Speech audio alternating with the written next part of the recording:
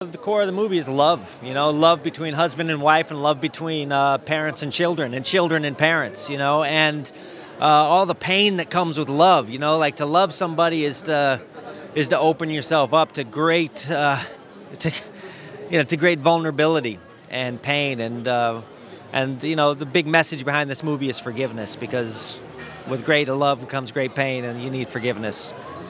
For people who perhaps aren't immediately familiar with the original book, can you tell us just a little bit about these two characters and the uh, the journey that they're going on as a family and as a, as a couple? Yeah, so uh, Tom Sherbourne, played by Michael Fassbender, is just back from World War One. He's survived, and he's kind of living with a lot of guilt about surviving and the things he had to do to survive that war.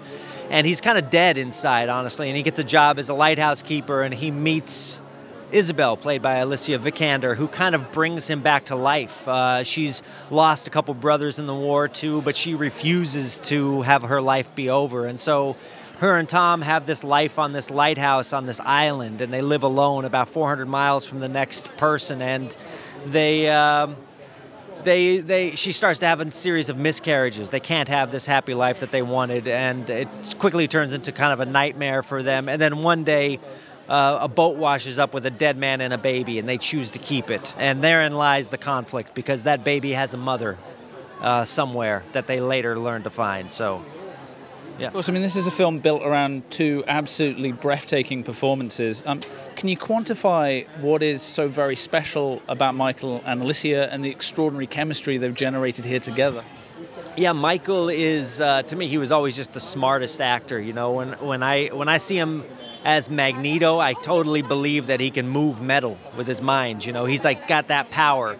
And uh, this character of Tom has this has this incredible power in his mind, and his mind is at war with his heart, really. And so I thought Michael, if I, I, I, thought if I could access Michael's heart, he could be perfect in this, and, and he was.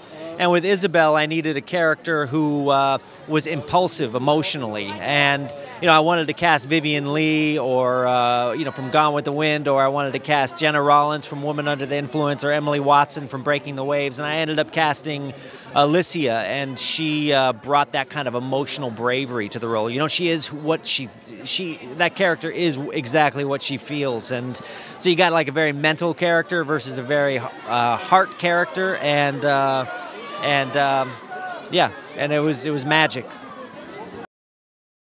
The key is to to understanding why we optioned, why I got involved with the, the book in the first place. Margot Stedman's beautiful book, and. Uh, it's a it's a it's an incredibly romantic story about good people doing the wrong things for the right reasons, and I think it's an incredibly relatable book. I think it's a book where all sides of the argument, as it were, uh, are, or both sides, or all, all the characters are, compre- are understandable. We can put ourselves in the minds or in the position of each of the characters, and it's a uh, well argued, well written uh, book. Um, and so that was incredibly exciting. And the characters were so rich and palpable. Then it was about finding a writer director who could bring that to, to life. And Derek Cianfrance um, cared for the book as, as I did, as, as we did. And he is a director who finds truth in every moment. And you know what was important was to not fill it with artifice, to have it feel believable and truthful. And, and there's nobody better to do that than Derek. And the process of making it was was about putting the actors in was in part about putting breaking down that artifice, about putting actors in a position where they lived out in a in a remote part of the country for six weeks on their own to get into the posi- into, into the into the feeling of that isolation, uh, into the spirit of that isolation, and um, and then he would, would do these 20 minute takes. You know, where again artifice was broken down and the actors grew into the, stopped acting and started being, and it was amazing to watch. Alicia has a rawness. She is a brave actress who pushes the envelope in everything she does. I had the pleasure of working with her on Testament of Youth, and here, in, again, in Light Between Oceans, you see her bravery as an actress. She's uncompromising. She is willing to try anything, um, understands her character, and is willing to go to places that many actors wouldn't go. She's willing to make herself look as raw and and and and and, and uh, torn apart uh, in a way that many actors who are as beautiful as she is would not do. She uh, it gets in touch with a raw emotional nerve, as very few actors would dare to do. And she gives herself over to a director, as very few actors would, care, would, would, would, would, would dare to do. She is an astonishing actress, and you're seeing her now her just get better and better and braver and braver. She's an amazing uh, actor to behold, and I'm really excited to see what the future brings her. Michael is someone who dances between the big and the small. Um, he's worked on tentpole films, in, in comic book films, and yet you know he's worked with done astonishing work with people like Steve McQueen. Um, he is also a brave actor. He has an ability for to create a stillness, which was at the heart of Tom. Tom is the lighthouse keeper. He is the lighthouse of the film, and uh, he is he exudes a decency, but also someone who has demons, and uh, that is Michael. And Michael can convey that with real truth, and uh, again, he is. Um, he's the anchor for the film, um, and he's absolutely astonishing. Rachel Weisz, of course, is the third actress who I think deserves note, who plays uh, a mother who's who has lost her daughter and brings a real emotionality to that, emotional truth to that performance. And you got um, uh, a whole host of wonderful Australian and New Zealand actors as well. Um, the landscape, yes, you know, New Zealand, Australia, where we filmed it, are beautiful places, and um, they uh, it was in, uh, important for us to create a sense of isolation. Um, so uh, Michael, Alicia, and Derek lived in a remote part of New Zealand for six weeks beneath a lighthouse where we filmed. Really getting because Derek wanted the actors to feel that isolation, to feel that lone, you know, the wind, the sea, the, the nature, and um, th- they lived it. And it was great fun to scout for it, to travel all over Australia and New Zealand to look for the right place. Um, it was great. And then it was really important fi- for us to find small towns that could live, could exist in 19, you know, 1920s. Um, and fortunately, New Zealand has a few of those, and with our wonderful set uh, production and costume designers, we were able to evoke the period, I think, successfully. Can you tell us a little bit about, for you, what most resonated and fascinated you about the complexity of this couple's relationship and the grace, the benefit of having a partner like Michael to tackle that with? I mean, coming on this project, I knew that Michael was attached, and uh, since years before that, when I saw Hunger, Shame, Fish Tank, I, I, thought that he was probably one of the most extraordinary actors I had seen out there.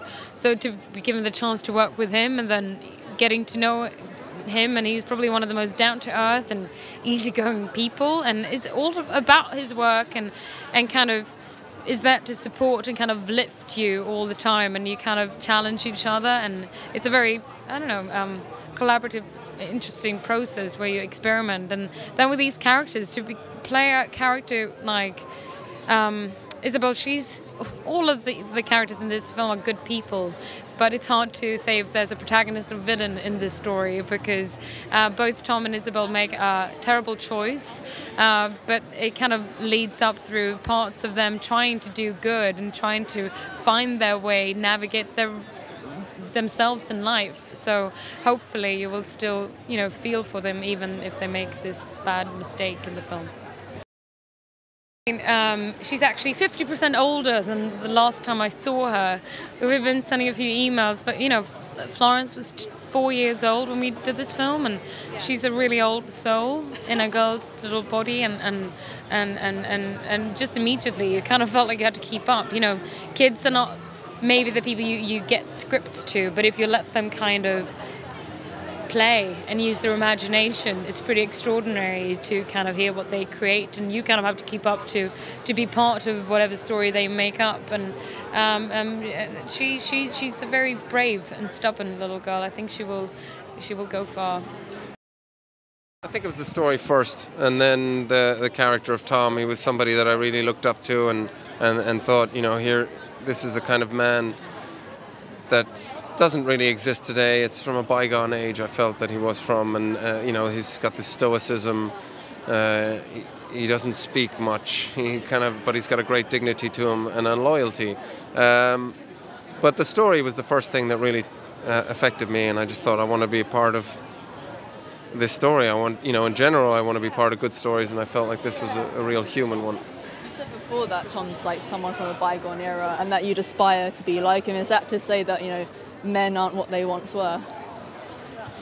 I don't know about that. I think you know we're uh, ever evolving with the you know the, the, the life we live in. Look, I think all of us are pretty spoilt in this sort of day and age, man, you know, or women. I think uh, you know the way that uh, what was like post World War One, there was hardship, and uh, and there was perhaps uh, more value uh, to certain things because certain things were harder to come by and survive. So you know, I, I think just in general for all of us, it's just a different world. Well, just really spending a lot of time with the text, what's written in the story that we're trying to tell, and um, and then obviously I had the reference of the book, which fleshes out ideas of the character and where he's coming from, uh, you know, what sort of psyche he is. Uh, but really just spending time with that, with the text, and spending a lot of time with Tom. Uh, you know, it's kind of boring the process of how one goes through it. It's just sort of identifying characteristics and ones that are present within myself and not. And, you know, but uh, spending time with the script, basically. Uh, I just felt, you know, that they, they were two human beings. You know, that uh, they're ordinary people and uh, living through extraordinary circumstances. Already coming off the the back of uh, the First World War, Isabel has lost her brothers to the war, and uh, and Tom has lost lost a lot of brothers in arms, and and so they start to try and build a life together, and, and life throws certain surprises our way, uh, and it's how you know what decisions we make and how we navigate those obstacles, and the consequences that that occur from that. So for me, it was a very human story. It was a very real story. I felt that the fact that there's no you know, obvious villain or good guy or girl. Uh, I, I, like that. It, it just seemed like real people, like I say, trying to navigate life as best they can.